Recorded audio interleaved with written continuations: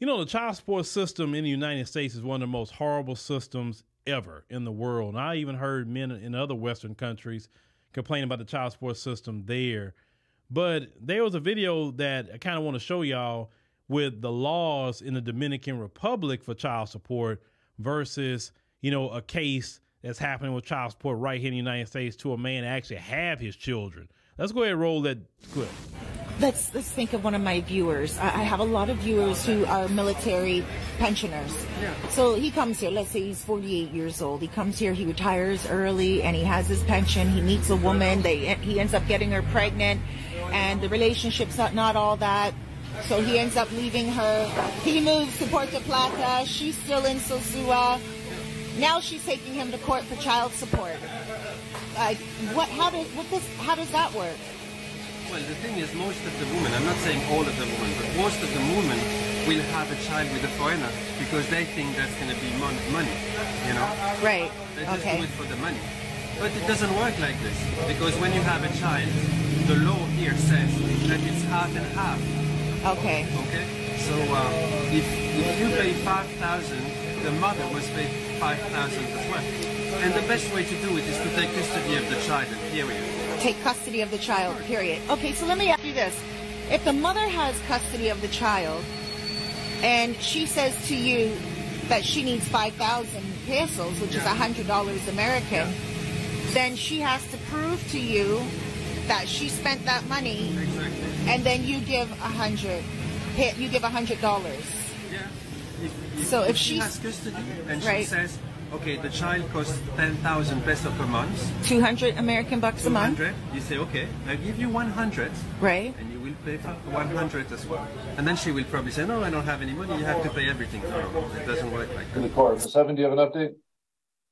I do. Um, Mr. Perret is um, ordered to pay $50 a month on arrears. He currently owes the plaintiff $3,939, the state $1,434.75, fees one hundred ninety-two dollars ninety-seven cents, total owing five thousand five hundred sixty-six dollars seventy-two cents. Last payment received was one hundred ten dollars fifty-nine cents November of two thousand twenty. $109.39 was received in October of 2020 and $106.96 in September of 2020.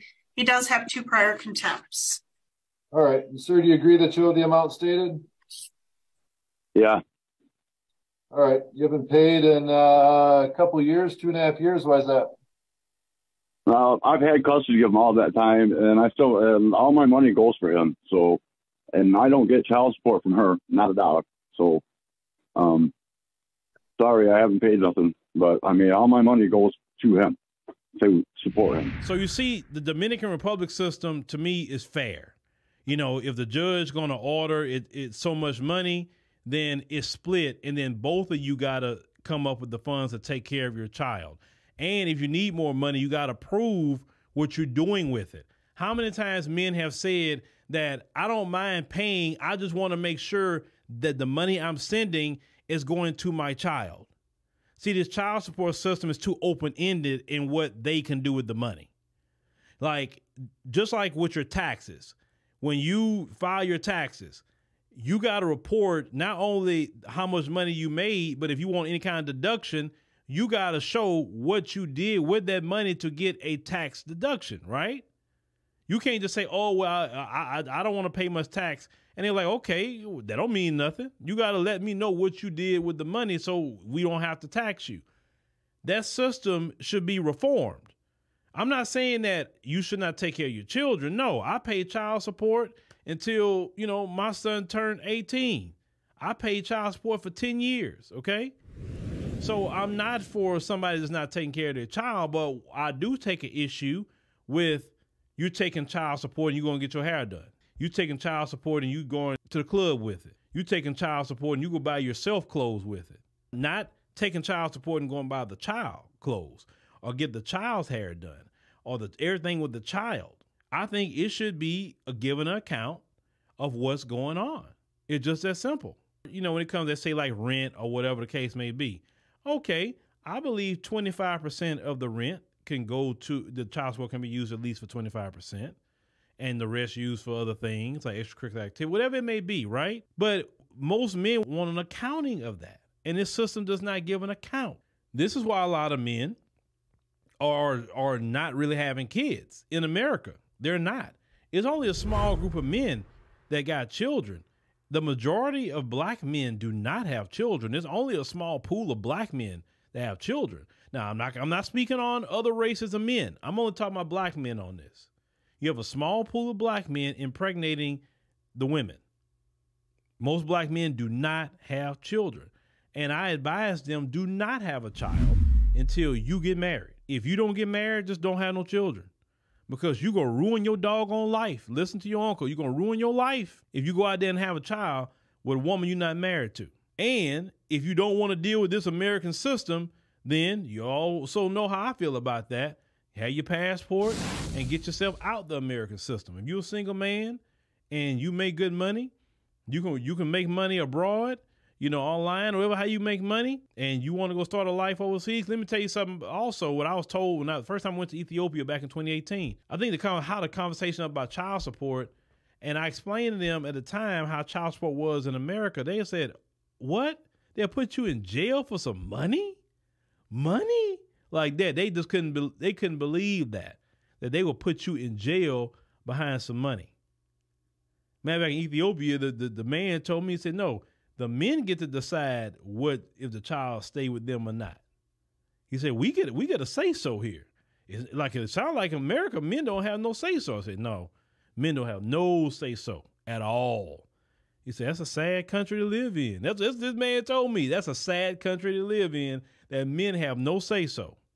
But the problem is, uh, uh, uh, it was men and not black men. It was white men that gave all this power to the women because the women didn't do it themselves. We got to be real. And I don't care. You know, I know some of you white guys like my show, but we got to keep it real. Y'all the one in power. And y'all was the one that, that that came down with all these laws. It wasn't it wasn't the white women. It was y'all. Y'all politicians. And then now that now it's out of hand, it's, it's hurting you. It's just that simple. But I say don't get caught in the child support system you can prevent it, right? Don't have children till you get married. Just that simple. And if you don't want to deal with none of the American system with their marriage, divorce, child support, go overseas, live your life over there where actually men have more of a say so. They really do. You can go to African continent, men got to say. Men got to say in Latin America, men got to say in the Caribbean. You know, definitely as, as black people, right? You know, men got a, a, a say. But the only thing I, I say about going to countries where it's not really ran and controlled by black people as black men is that that woman's still gonna have more of a, a right over you. Let's say if you went to the Philippines, got married over there, that Filipina's gonna have more rights over you still, because that's that's her people, that's her country. Versus, let's say if you went to a black nation, then hey, it'll be the same. You know what I'm saying? But everybody choose what they want to do. I'm not telling you against uh, nobody. I'm just saying that when you go to as a quote unquote foreigner, you got to remember that you are a foreigner, and they're going to look out for their people over you. That's one part of the passport bro conversation that's not really discussed. It's not. You need to. I would say if you go get whatever woman you want, get, but live in an African nation, live in a Caribbean nation. That way, for the first time in our life, we have some sort of say so. Because in this country, we have no say so. We know that for what about four or five hundred year history of the most horrible treatment ever known to man uh, for black people. But child support, DR, sound like a fair system, but don't expect that in America no time soon. Because this country love, love, love to oppress everybody, especially men.